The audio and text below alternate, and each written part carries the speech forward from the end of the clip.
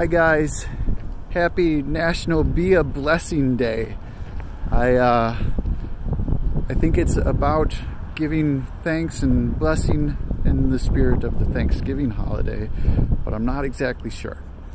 Um, I uh, I miss you guys, and I I was thinking about you guys a lot today.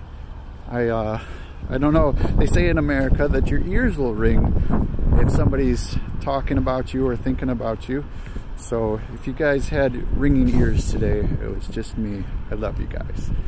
I uh, I'm excited. There's about uh, less than two weeks of work, and then it's the winter break.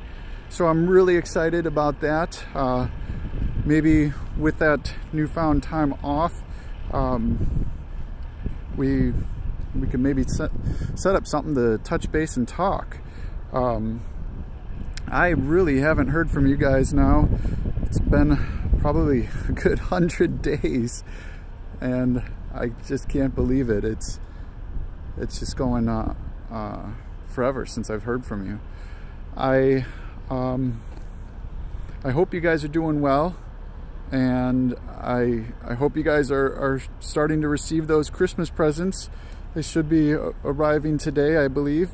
And I look forward to hearing some really good feedback in some form or another from you guys. Love you guys. Mwah. Bye.